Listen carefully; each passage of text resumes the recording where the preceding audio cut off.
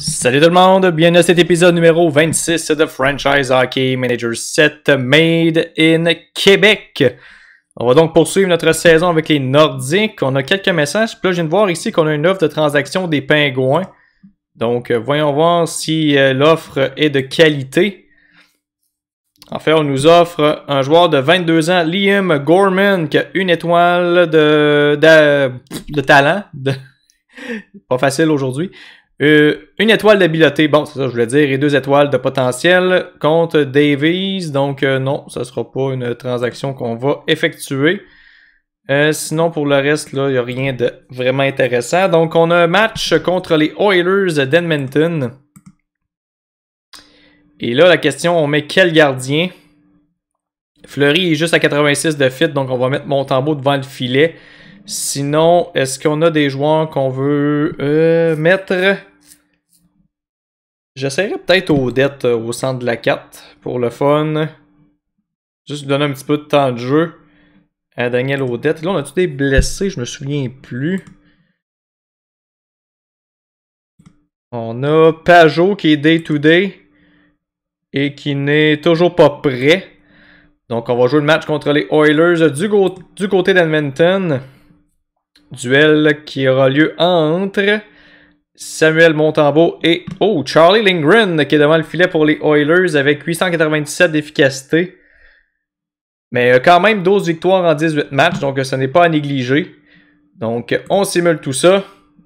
Et on perd 6 à 5 malheureusement. Donc Montembeau qui n'a pas fait le travail. On a Manta qui a inscrit son 15e sur des passes de Girard et Bergeron. Ensuite, Le Temps son 9e sur des passes de Lheureux et Girard. Duclair qui a marqué sur des passes de Gourde et Girard. Donc trois passes pour Girard. Duclair qui marque son deuxième du match sur des passes de Gourde et Beauvillier. Et Lheureux qui marque sur des passes de Gauthier et de Joseph. Donc malheureusement, on débute ça avec une défaite. C'est la 18e défaite qu'on subit en temps réglementaire. On a quatre autres également en prolongation. Ce qui nous donne un total de 42 points. Et là, on est évidemment au cœur de la lutte pour le troisième rang dans l'Atlantique avec les Panthers et les Sabres. C'est vraiment les deux équipes qu'on va rivaliser là, tout au long de ben, pour le reste de la saison en fait là, pour obtenir cette place-là. Parce que je pense que les deux premiers rangs peuvent mettre une croix là-dessus. Surtout qu'on vient de perdre encore un autre match. Donc euh, l'écart qui euh, ne cesse de s'agrandir. Donc, euh, honnêtement, j'y crois plus ou moins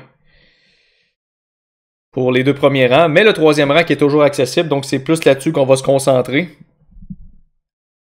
Mais là, il faut commencer à aligner des victoires sur une base régulière et non échapper des matchs qu'on ne devait pas échapper.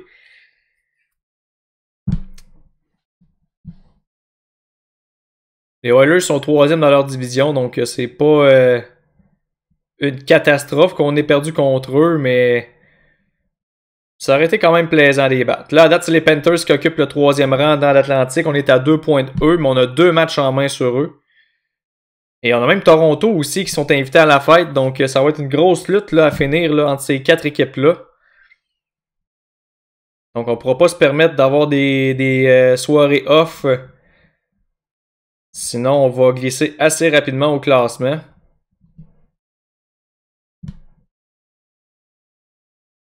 Justement le prochain match qui est contre les Sabres de Buffalo. Donc un match très important. Ils ont deux matchs en main sur nous en plus. Donc il ne faudrait pas échapper cette rencontre-là. On va souhaiter que Pajot va être prêt pour ce duel-là. Parce que pour vrai, ça nous prend une victoire. Là. C'est la défaite, c'est même pas une option pour ce game-là. Si on veut se donner une chance là, de de rester dans la course. C'est sûr qu'il reste encore beaucoup de hockey, mais ces matchs-là contre les équipes euh, qu'on euh, est directement impliqué dans la course là, pour cette fameuse troisième place-là, ben, il faut les remporter, ces duels-là.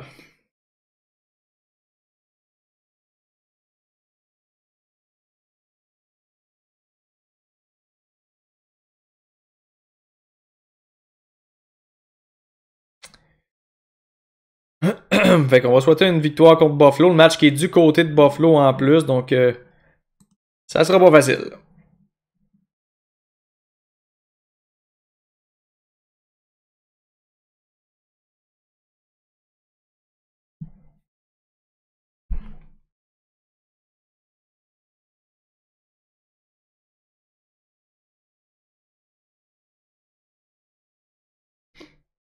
Alors, ça là, les Browns qui ont rattrapé les Blues pour être euh, dans les meilleures équipes de la ligue. Donc, Boston connaît vraiment une belle séquence présentement.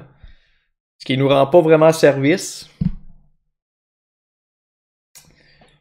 Mais en même temps, s'ils gagnent des matchs contre. Ouh, le Toronto qui vient de nous passer en plus.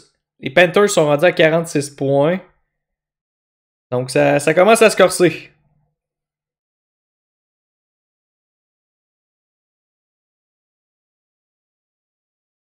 Ça commence à se corser pour nous.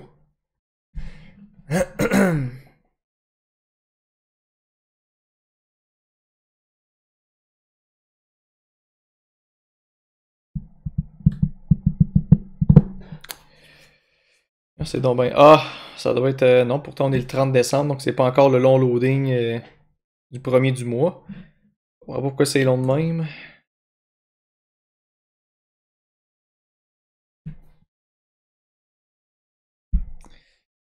Là, Buffalo qui ont un match en main sur nous. Donc, ils ont perdu un des matchs en main qu'ils avaient sur nous.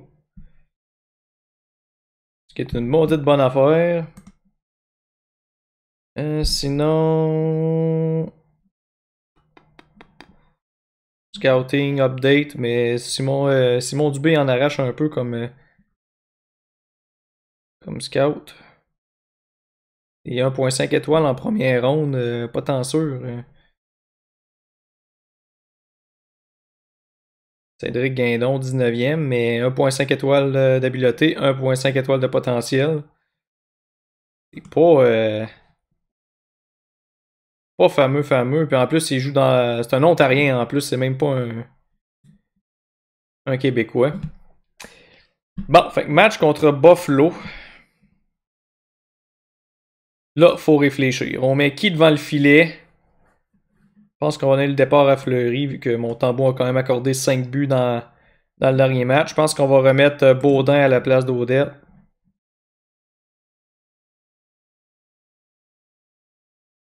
Euh, sinon, défensivement, on va mettre Lozon à la place de Després.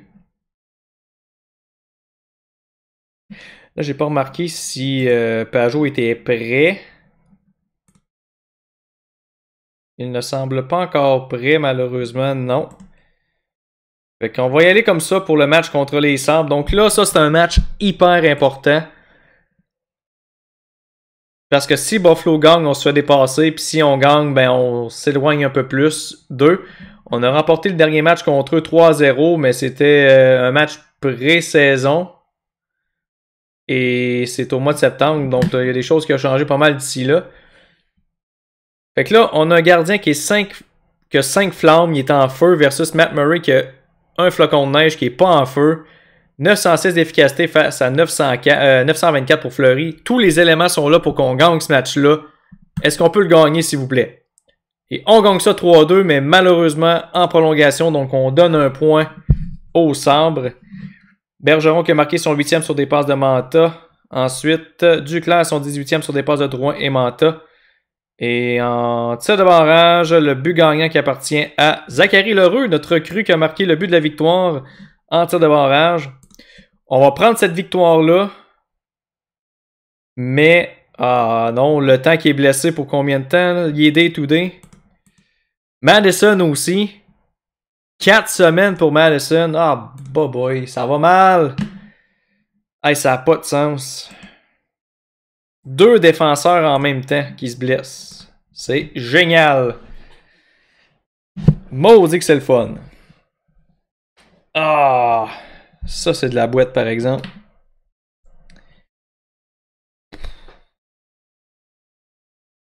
C'est vraiment de la boîte. Pour pas dire un autre mot. Tout pour aider dans notre course. Ça n'a pas de sens. Mais on a gagné contre Buffalo en leur donnant un point. J'espère que le temps, ça prendra pas 8 ans. Là. Il est day-to-day, mais souvent les day-to-day là-dedans sont longs pas mal. Là, on va se taper le gros loading de janvier.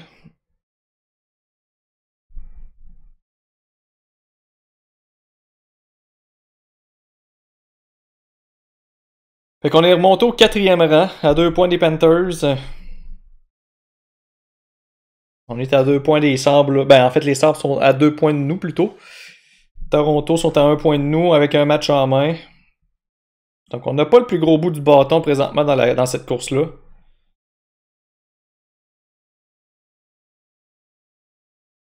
Mais on n'est pas si mal en point que ça non plus. Mais là, avec les deux blessures qu'on vient d'avoir, euh, là, ça risque d'être plus difficile. Même pas mal plus difficile.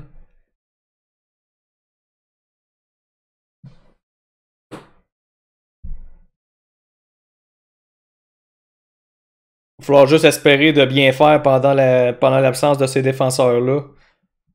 Si on peut jouer pour 500, ce serait déjà pas si pire.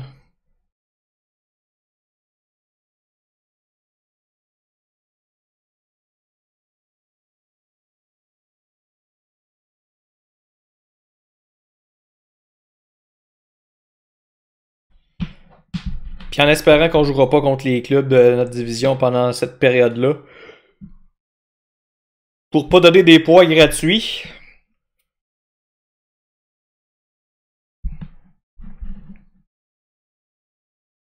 Pendant ce temps-là, Huberdo qui est toujours le meilleur pointeur dans la LNH avec 61. Healers mène au niveau des buts avec 35. Huberdo au niveau des passes avec 45. Vanecek qui a la meilleure moyenne de buts alloués à 1,67. Ottinger du côté de Dallas a le meilleur pourcentage d'efficacité à 948. Et Frédéric Anderson avec les Blues est le premier au niveau des victoires.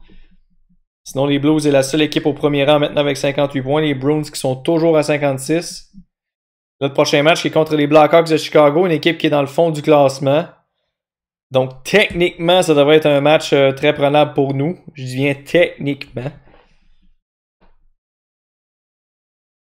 Mais sait-on jamais.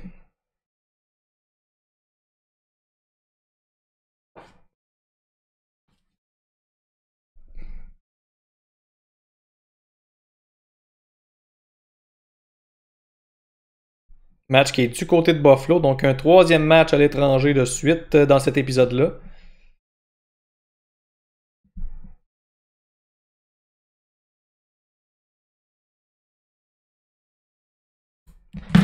Voyons voir si on peut remporter ce duel-là. On a atteint le plateau des 20 victoires officiellement.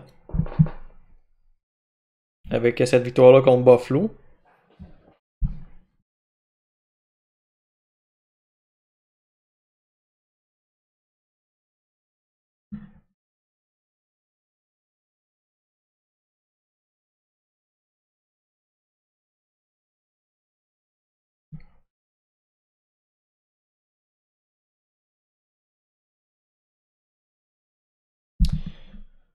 On devrait avoir aussi un rapport de développement dans pas long, donc on va voir un peu nos espoirs, comment ils se débrouillent. On a, on a deux en deux en fait. On a Colorado qui sont troisième aussi, qu'on va jouer après euh, Chicago. Donc je risque de donner le départ à Montembeau contre les Hawks et l'Avalanche, je vais le donner à Fleury.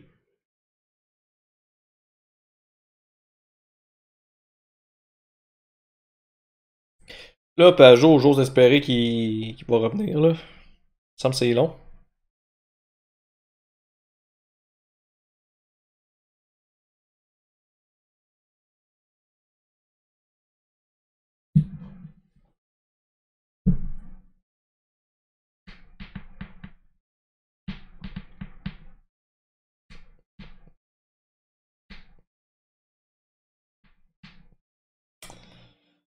Donc, effectivement, on a un development report.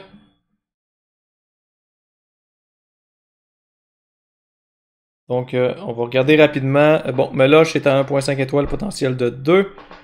Ensuite, Fauchon, lui, est à 1.5, potentiel de 2. On a plusieurs 1.5. Lestardia, qui est un de nos espoirs, qui est à 1.5, potentiel de 2.5, 15 points en 15 matchs avec Boston University. Donc, euh, une bonne saison jusqu'à maintenant pour la a une moyenne d'un point par match.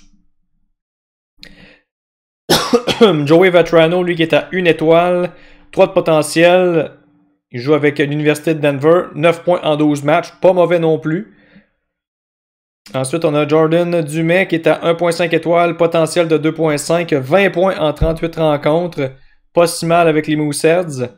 Guillaume Richard, lui qui évolue avec euh, l'Université du Maine. 10 points en 16 matchs. Pas mauvais début de saison non plus. 0.5 étoiles cependant seulement. Et 2 étoiles de potentiel. Bon, Baudin, Drouin, ça c'est des joueurs qui jouent déjà avec nous. On a Zachary Lessard qui est à 1.5 étoiles présentement, 2.5 étoiles de potentiel, 21 points en 35 matchs. Donc pour un défenseur, c'est très bon. Et ensuite, on a des joueurs là, qui perdent la valeur là, en Chaput, Belzile, Bergeron et Le Temps. Bergeron qui est toujours à 3 étoiles, Le Temps aussi. Oh, le temps, là, c'est écrit une à deux semaines, donc on n'est plus à week to week. Euh, on n'est pas à day to day plutôt. Au moins, là, on a une meilleure idée de qu'est-ce qu'il va rater. Fait que. Ah non, le temps, c'est une autre blessure qu'on a. Ah non, c'est, non, c'est vrai, je l'avais pas, je l'avais pas enlevé tantôt. Oh, fait que là, ça veut dire qu'il faut que je rappelle un défenseur en plus. De mettre le temps sur la liste des blessés. Euh, Pierre-Olivier Joseph, on va le mettre ça là. Ça à deux. Després, on va le mettre sur la troisième paire. Puis là, ça va me prendre un défenseur de notre depth chart.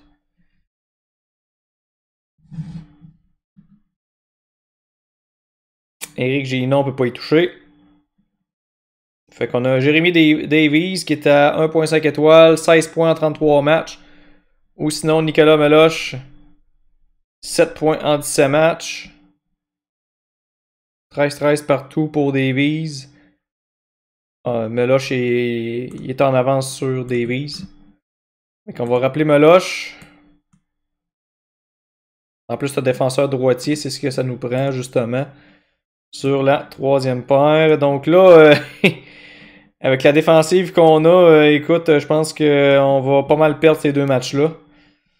Donc, premier duel contre les Blackhawks. Euh, bon, faut encore que j'assigne des chandails.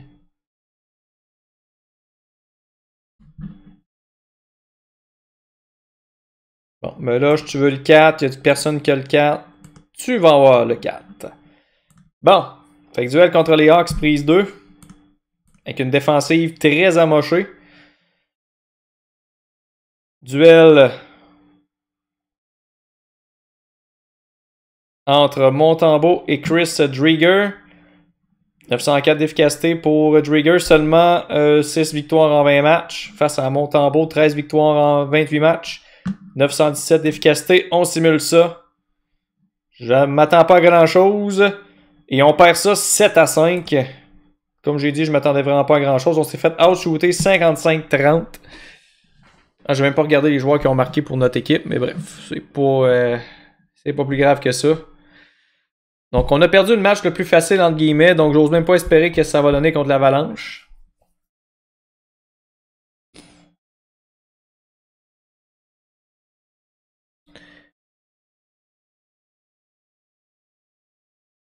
Est-ce que ça va être le début de la débandade du côté des Nordiques, les blessures qui auront eu le dessus?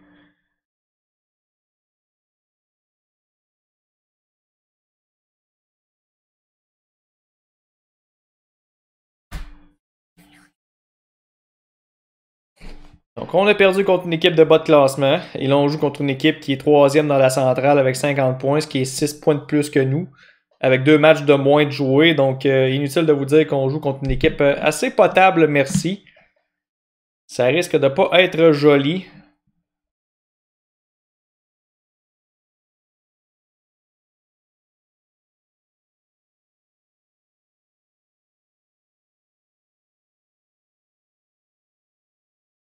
Ça va vraiment nous prendre une meilleure profondeur en défensive pour vrai. Euh, bon, Pajot serait prêt de revenir. Est-ce qu'il serait. Ok, non, ça serait mieux qu'on le laisse encore en dehors des matchs. Bon, fait qu'on va y aller avec. Oh boy, Fleury qui est à 54 de fit. Montembeau 113. Mais mon dieu, qu'est-ce qui s'est passé là? Pour Montembeau s'est fait retirer tôt dans le match. On va donc laisser Montembeau parce que Fleury n'est pas vraiment en état de gauler.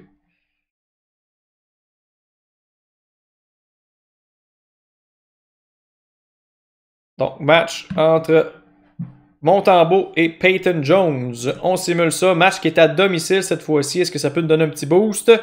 On remporte ça 5 à 1. Wow, grosse victoire contre l'Avalanche. Je m'attendais vraiment pas à ça. Lozon qui a marqué son deuxième sur des passes de Joseph et Blais. Joseph ensuite qui a marqué sur des passes de Baudin. Beauvillier sur des passes de Duclair et Girard. Donc on a frappé tôt avec 3 buts en première période et on en a ajouté deux en troisième. Mathieu Joseph sur des passes de Baudin et Pierre-Olivier Joseph, son quatrième sur des passes de Martel et de Baudin. Donc un peu le monde à l'envers. On a remporté le match qu'on était censé de se faire varloper.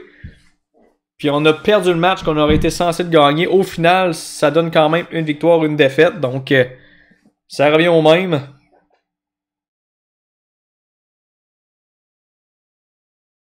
Donc on s'en sort pas trop mal dans les circonstances. Quand même triste qu'on a marqué 10 buts en deux matchs, puis on s'en sort juste avec une fiche d'une victoire, une défaite.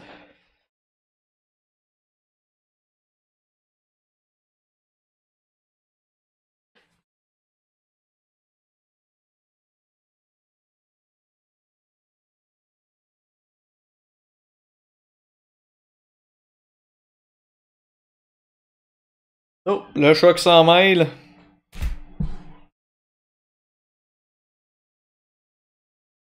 Si tu veux.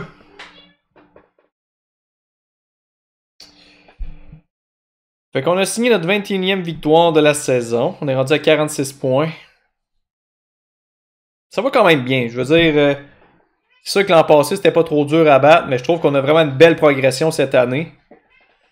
Puis euh, on a des jeunes qui s'en viennent aussi éventuellement. Dont un défenseur qu'on aurait dû signer dès le départ puis qui jouerait dans la LNH présentement si je l'avais signé puis que j'avais pas fait l'innocent là-dessus. Je parle de Béliveau bien évidemment. En train de brûler le junior pour absolument rien lorsqu'il pourrait jouer dans NHL présentement. Il serait, il serait sa troisième paire, mais au moins on aurait un défenseur de 2 étoiles et non un défenseur de 1.5 en Lozon ou Després ou Meloche. Quand je parlais de profondeur, c'est un, exemple parfait. On a quelques défenseurs qui s'en viennent, par exemple, le Lessard connaît un bon début de saison aussi. Il est encore à 1.5 par contre, mais il a le temps de progresser d'ici la fin de la saison.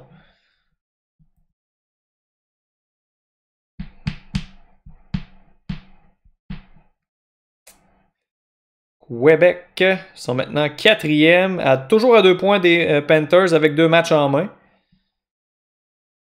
On a deux points d'avance également sur Buffalo et, euh, et Toronto. Pendant ce temps-là, les Browns, eux, continuent à dominer dans l'Atlantique. On est à 60 points. Mais c'est les Blues qui sont toujours au premier rang avec 62, puis un match de moins de jouer. Je regarde ça dans la Pacifique aussi, il y a une pas pire course. Euh, on a Vancouver qui sont à 53. Puis tu as San Jose à 49. Donc 4 points d'écart seulement entre la sixième et la première place dans la Pacifique. Donc ça va être une belle lutte aussi à suivre. À la limite, même si Seattle sont pas tant. Euh, sont loin, mais c'est encore possible. y a des joueurs intéressants sur les waivers. On va aller voir ça. Ah, c'est vrai, c'est le World Junior. C'est vrai, on a Robida qui est en train de jouer là-bas. On va aller voir euh, à la fin de l'épisode qu'est-ce qu'il a fait jusqu'à maintenant. On a Hughes, Aberg, puis un autre, euh, rien de vraiment intéressant. en fait, on va aller voir tout de suite euh, que la phase, euh, la première phase est terminée. Robida, c'est un joueur de centre qui est juste ici. Sérieux, Béliveau, il y a zéro d'affaires dans la queue pour vrai. si on regarde Career Stats et qu'on va international. Présentement, il a joué 4 matchs. Il a marqué 2 buts, une passe, 3 points. Donc, quand même un bon tournoi pour lui jusqu'à maintenant. Souhaiter que ça va se poursuivre. Dans son cas, je pense que c'était notre seul joueur qui représentait les... une équipe. Ben, en fait, Équipe Canada, c'est la seule équipe qu'on peut représenter. Mais c'est quand même bon contre d'ailleurs. tu veux, toi? Pensez de checker les Devils sont où au classement, on va sûrement le voir dans pas long.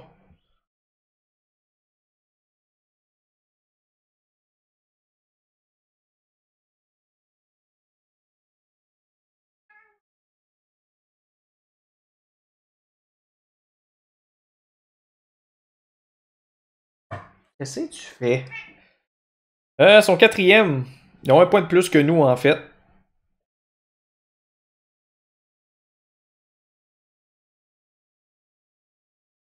Donc, ça serait un duel serré entre les deux équipes. Du moins, ça s'enligne pour ça. Sauf si notre défensive flanche. Mais ce que je vais faire, par exemple,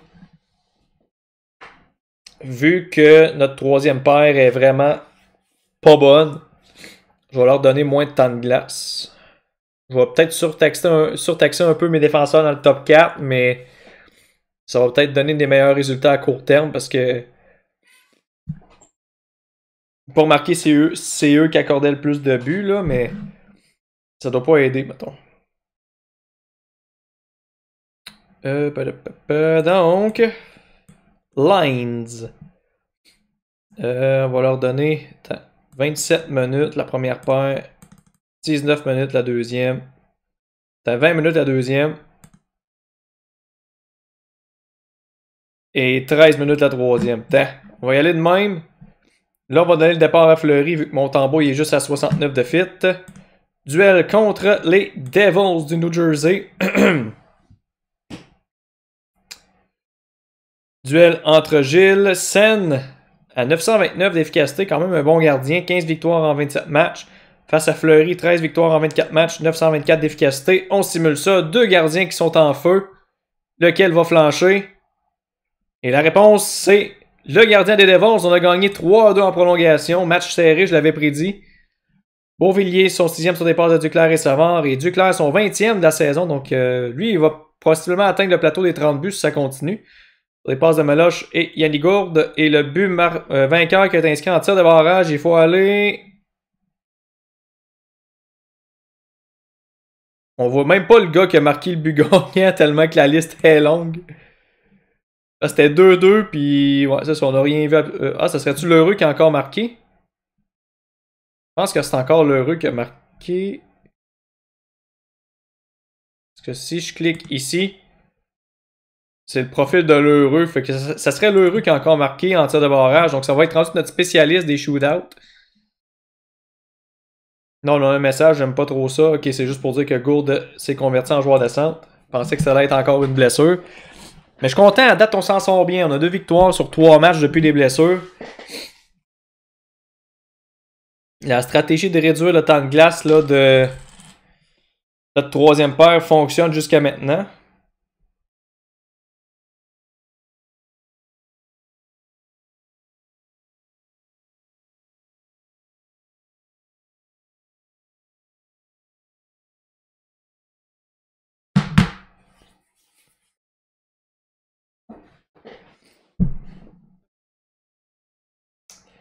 Donc, deux points de plus en banque pour les Nordiques. Mais reste un coke ou il me reste juste de la bière? Question à 100$. Euh, il me reste juste de la bière. Bon. Fait que pas de breuvage pour cet épisode-ci. On va faire un petit tour au dépanneur.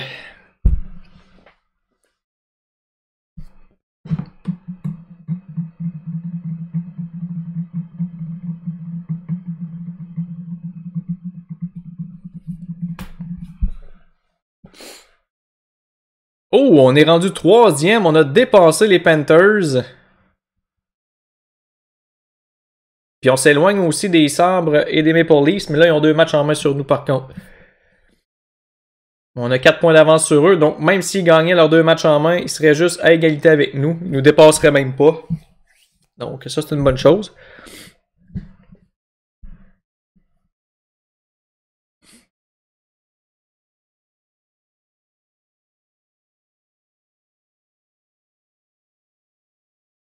Et là, on a trois messages. Donc, euh, j'ose espérer que ça va être des bonnes nouvelles au niveau des blessures. Au moins pour Pajot, là, ça fait longtemps qu'il est dans le day-to-day. -day,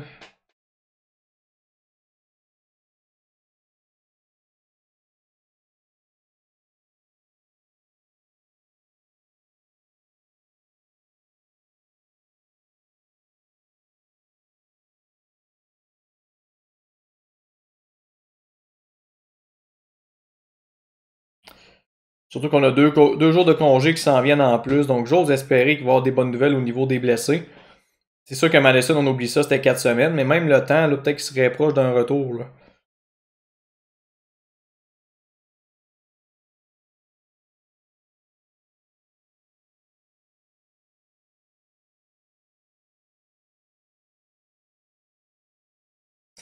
Et là, je suis en train d'envisager peut-être de prolonger les contrats de Bergeron et le temps pour une saison. Et mon thinking est le suivant, c'est que présentement, ils sont à 3 étoiles. S'ils peuvent finir la saison à 3 étoiles, je me dis que le pire qui peut arriver, c'est que l'an prochain, ils vont finir la saison à 2.5 étoiles, ce qui est encore très bon pour nous. Ça serait de la bonne profondeur. Fait que je pense que je vais regarder, tout dépendamment de qu'est-ce qu'ils vont demander, pense que je vais regarder pour les prolonger.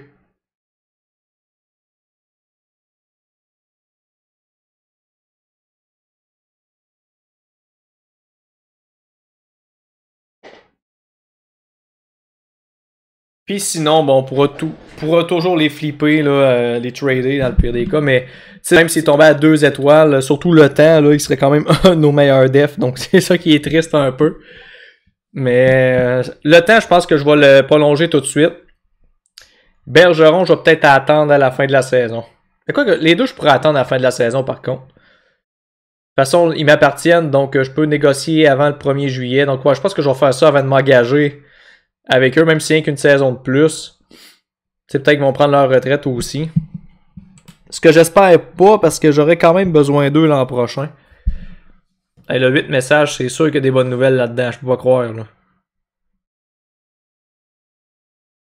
Peu pas clair.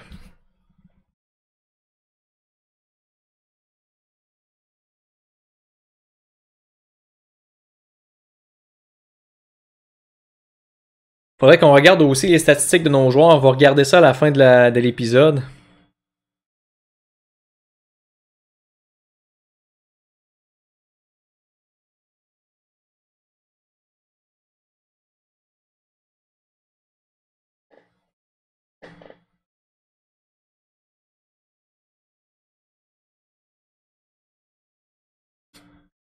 Parce qu'on a des joueurs qui connaissent des bonnes saisons. On a Duclair là, qui a atteint le plateau des 20 buts, puis on a juste 45 matchs de jouer. Fait qu'il est sur un pas pire pace, mettons. Euh... Pour en marquer facilement 30-35 si ça continue. Ce qui sa meilleure saison en carrière dans la LNH et de loin. Du moins au niveau des buts. Même au niveau des points, ça serait pas trop loin, parce que. Il semble qu'il n'y a pas eu des grosses saisons euh, dans la NHL. On va checker ça. Anthony Duclair. Je pense que sa meilleure saison, c'était comme 40 ou 50 points. Meilleure saison, 44 points avec les Coyotes de l'Arizona. En 2015-2016. Une saison de 40 points aussi, 23 buts. 23 buts, c'est sa meilleure saison en carrière au niveau des buts. Donc, il est à 3 buts d'égaliser ça, 4 de battre ça. Je pense que ça va être faisable, sauf s'il se blesse, euh, se blesse évidemment. Et là, on joue contre les Penguins de Pittsburgh pour le prochain duel. Ils sont deuxième dans la métropolitaine, donc euh, ça sera pas un match facile. Mais là, on devrait avoir du renfort. Euh, Pajot, d'après moi, il va être prêt. Ce qui va... remettre notre ligne de centre dans le droit chemin.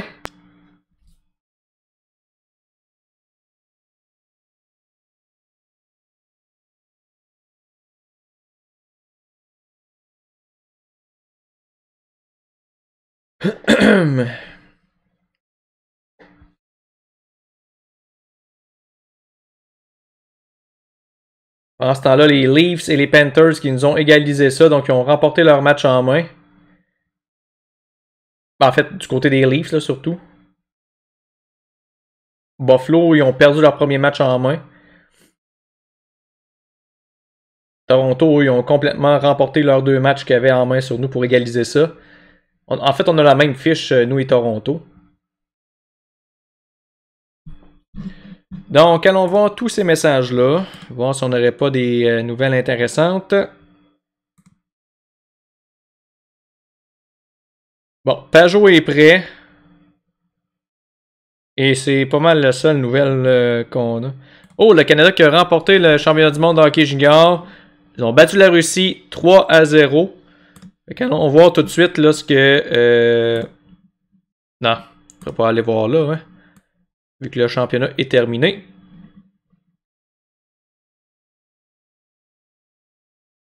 Hein? Non, t'es un peu, c'est pas ça je voulais voir pendant tout. Euh... Ok. Justin Robida. Career Stats. On va y aller du côté international. Donc, il terminé le tournoi avec 6 points en 7 matchs. Donc, 3 euh, buts, 3 passes. Excellent tournoi pour notre cher Robida. Qui est présentement à 2 étoiles. Donc, il va être prêt à jouer l'an prochain. Ou du moins, il va être sur le bord. Surtout ses points sont 2.5 d'ici la fin de la saison. Il faudra s'assurer de le mettre au moins dans le top 9 parce qu'on voit que sa défensive, est à 12. On a 14 d'offensive, 12 de défensive, 14 physique et 13 mental. Donc défensivement, mettons si on le met sur la carte, ça ne rendrait pas trop trop service. Même l'heureux qui est plus axé sur l'offensive. Mais bref, au moins on a des bonnes nouvelles quand même. Et là, Pajot qui est prêt, donc euh, c'est clair qu'on va le mettre dans la formation.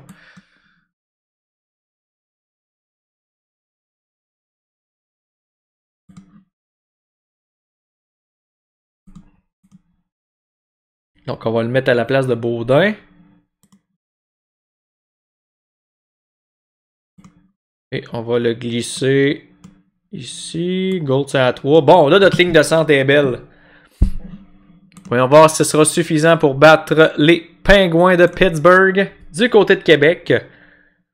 Duel qui aura lieu entre Marc-André Fleury et Tristan Jury à 910 d'efficacité face à 926 pour Fleury. On simule ça. Roulement de tambour. Et on perd ça 2 en prolongation, donc on va au moins chercher un point là-dessus. Gauthier a marqué son 14e sur des passes de blé et Meloche. Gauthier aussi connaît une bonne saison. On a perdu ça en tir de barrage malheureusement, mais au moins on est allé chercher un point. Donc euh, c'est pas la situation idéale, mais on a quand même évité le pire en allant chercher un petit point comme ça.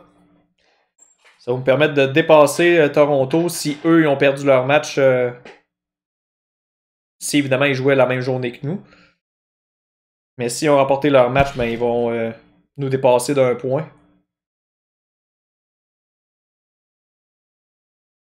On va disputer un dernier match avant de closer l'épisode. À moins que ce soit un 2 en 2, on va jouer les deux.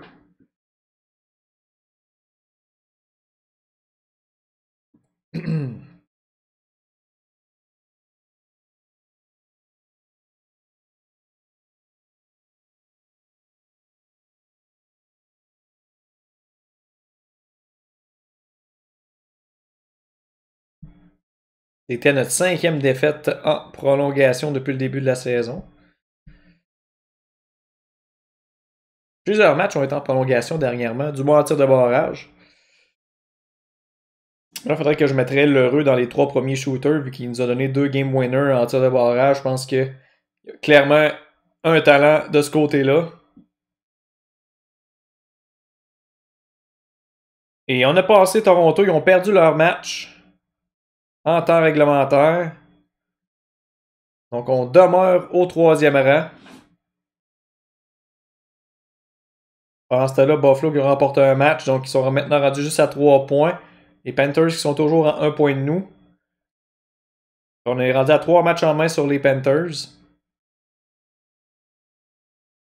Si les Panthers continuent de glisser comme ça, euh, peut-être qu'on va être capable d'aller chercher Huberdo à date limite.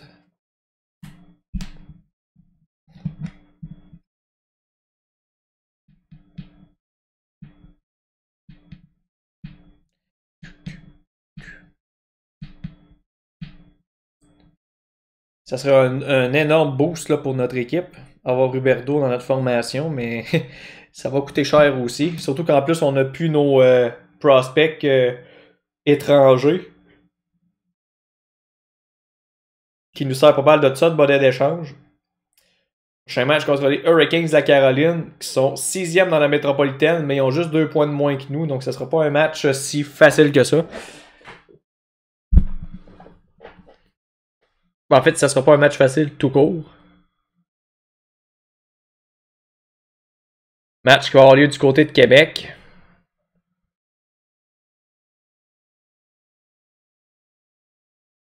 On serait dû là, pour un retour au jeu d'un défenseur. Là. Euh.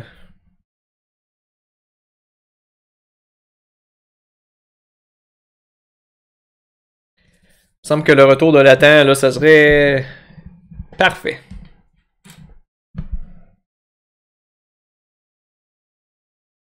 Oh, Buffalo qui ont remporté leur autre match en main. Donc, il y a trois équipes qui sont à un point de nous seulement.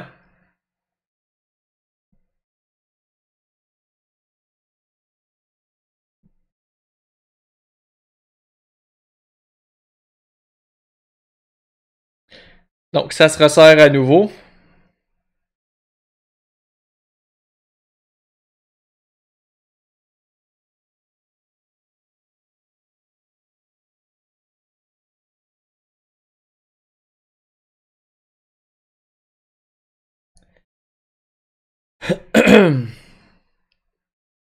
On a tous le même nombre de matchs de jouer, sauf les Panthers qui en ont 3 de plus. les Panthers, c'est l'équipe qui, le, qui est dans la moins bonne position présentement.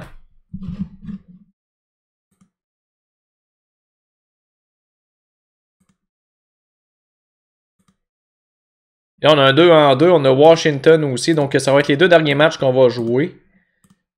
Euh, si on regarde Washington, eux sont à. Au deuxième rang, ok. Fait qu'on va donner Montembeau aux Hurricanes. On va donner Fleury aux Capitals. Donc, premier match du 2 en 2 contre les Hurricanes de la Caroline. Duel qui va poser Peter euh, Mrazek qui est vraiment en feu. Face à Montembeau qui est pas pire en feu. On simule ça.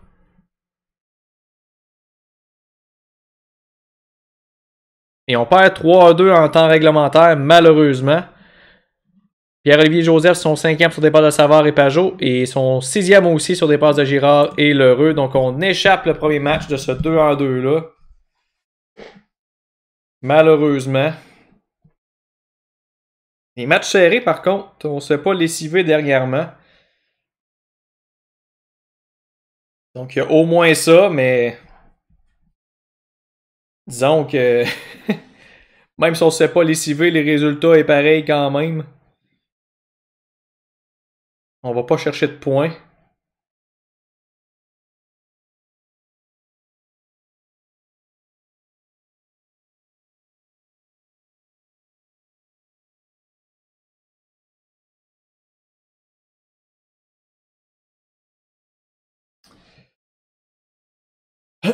Donc, c'était notre 20e défaite de la saison.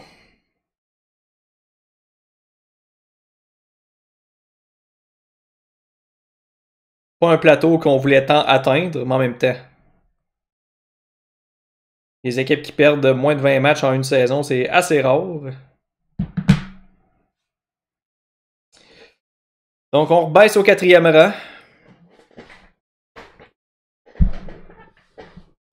Parce que les Leafs ont perdu un match en prolongation, eux aussi, donc ils sont allés rechercher un point.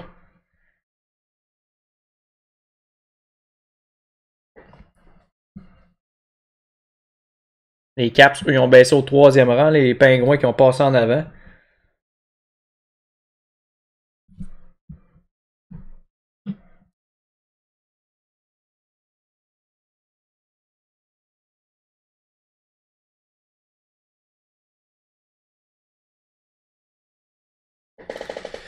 Fait qu'on va essayer de closer ça en beauté. Mais ça va être difficile. Contre les Caps, ce sera pas un match facile. Ça nous prendrait un retour au jeu euh, de le temps, au moins, pour nous donner une chance. Mais comme c'est parti là, d'après moi, on est encore pris euh, avec son absence pendant un bout.